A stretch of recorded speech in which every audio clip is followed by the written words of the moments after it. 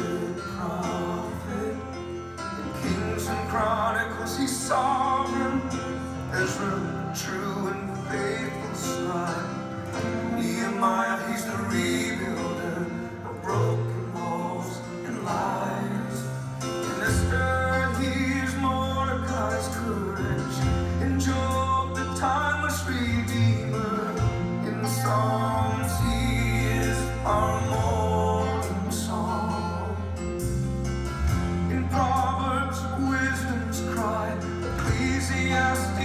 time and season in the song of song.